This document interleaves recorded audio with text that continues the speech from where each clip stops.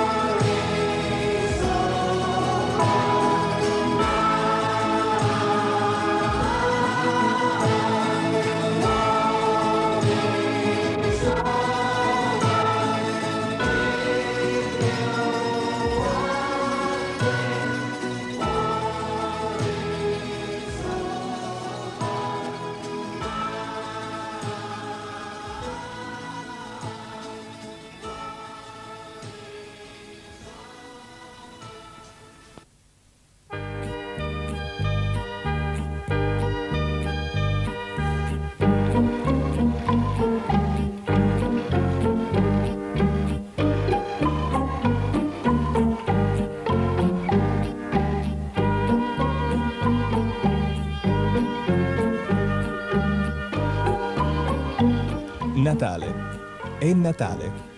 E le città, i paesi, i villaggi, le cattedrali, le chiese, le piccole pieve sui monti si accendono come d'incanto. Luci, suoni, cornamuse, alberi. Questa nostra piccola terra dimentica tutte le sue pene e i suoi problemi e si accende di letizia e di gioia.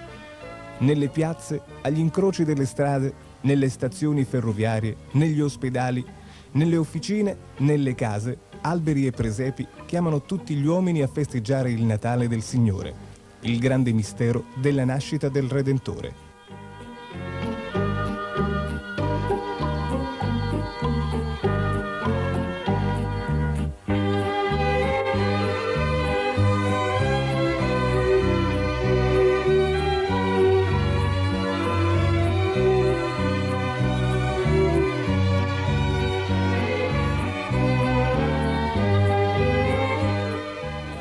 Tutti vivono un sogno di pace. Come una fiaba torna il Natale, una divina fiaba d'amore.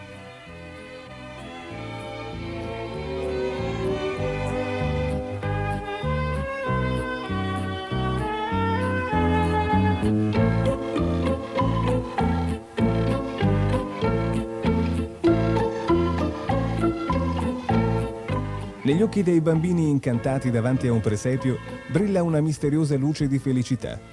Nei cuori dei grandi e degli adulti la gioia si fa nostalgia e malinconia e ognuno va al suo Natale tradizionale. O Natale, dolce gioia di un bianco Natale che c'è in fondo al cuore di ognuno di noi.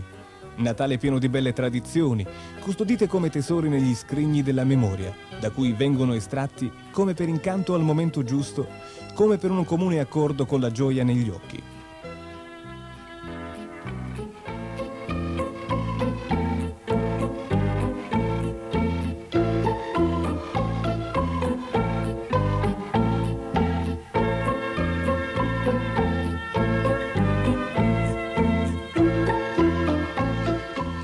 E quando una tradizione o un'usanza cade, è come una foglia d'autunno che secca e si stacca e fa restare l'albero spoglio di qualche cosa preziosa con tanta tristezza. Se poi tu riesci a far rivivere un gesto, un canto, un uso, un rito, tu fai riemergere qualche cosa che era nel fondo del cuore e che era capace di produrre gioia.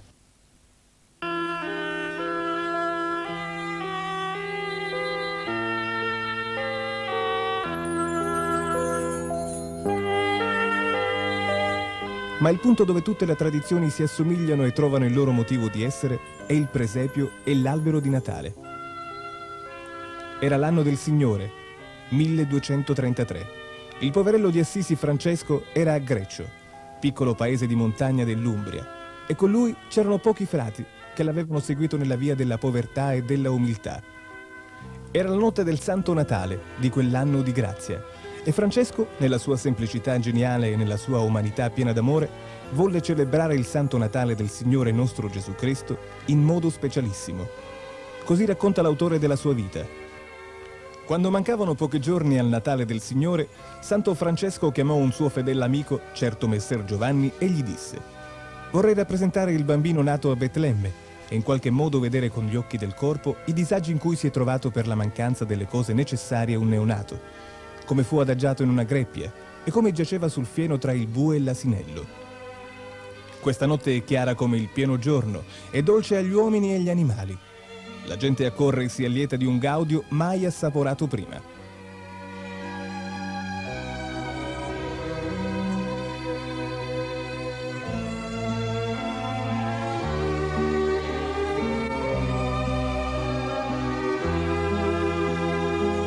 E fu allora che uno dei presenti, uomo virtuoso, ha una mirabile visione. Gli sembrava che un bambino giacesse privo di vita nella mangiatoia e Francesco gli si avvicinasse e lo destasse da quella specie di sonno profondo. Nella visione prodigiosa discordava dai fatti. E quello fu il primo Natale con il presepio, e il cuore di Francesco e dei suoi frati si riempì di commozione, di tenerezza e di amore, a contemplare il nostro Dio fatto uomo bambino giacente sulla paglia di una mangiatoia.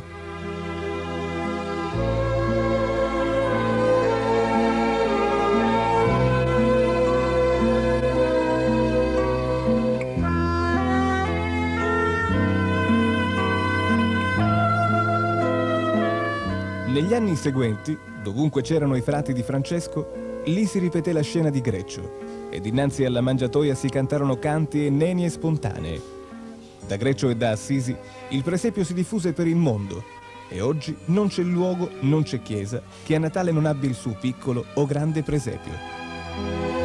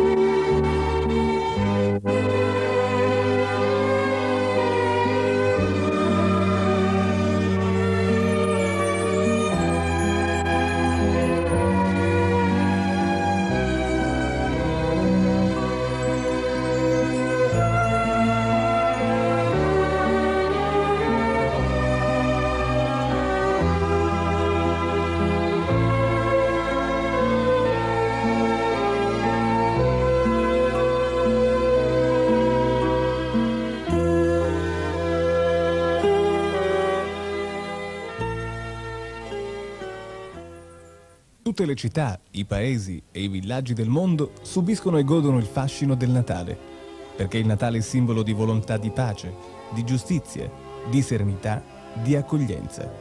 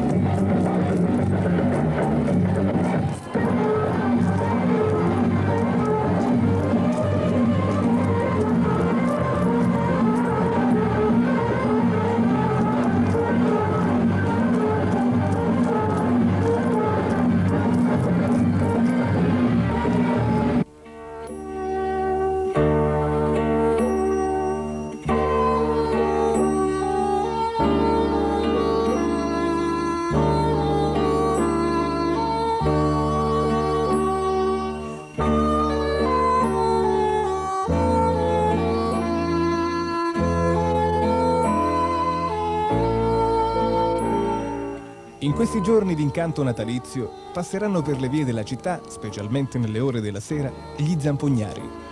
E quelle note tutte particolari restituiranno all'atmosfera festiva, nell'aria fredda decembrina, segnata da leggeri fiocchi di neve, il fascino e l'incanto che anche il poeta Giovanni Pascoli avvertì mentre si trovava forse nella città di Messina. E tradusse poi nella nota poesia Le ciaramelle. Udì tra il sonno le ciaramelle, ho udito un suono di ninne nanne. Ci sono in cielo tutte le stelle. Ci sono i lumi nelle capanne. Sono venute dai monti oscuri, le ciaramelle senza dir niente. Hanno destata nei suoi tuguri tutta la buona, povera gente.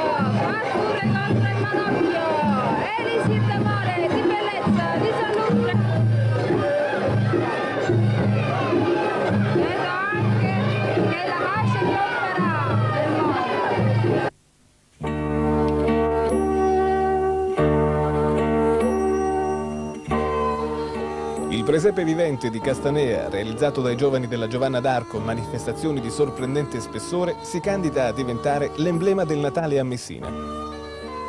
Probabilmente mai a ricordo d'uomo si è realizzato tanto con tanto poco. Intendiamo il presepe vivente che l'associazione turistico-culturale Giovanna d'Arco di Castanea, composta di giovani sotto i 30 anni, coordinati da Marcello Espro, ha organizzato nel parco dell'ex Villa Gustarelli, appartenente al notaio Nino Arrigo, al quale va il merito di averla messa a disposizione per una manifestazione che per la dimensione, il taglio scenografico, etnoantropologico e spettacolare e per la quantità di visitatori richiamati ha superato ogni ottimistica previsione. Intanto l'affluenza di pubblico. Si calcola che il giorno dell'Epifania, durante le tre ore di animazione dalle 17 alle 20, siano entrate nel parco oltre 5.000 persone. La manifestazione si presenta come un grande affresco vivente che ha il pregio di una finzione che cattura e coinvolge, evocando nel visitatore le forti emozioni dei primi incontri infantili con la natività e con il fiabesco mondo medio orientale.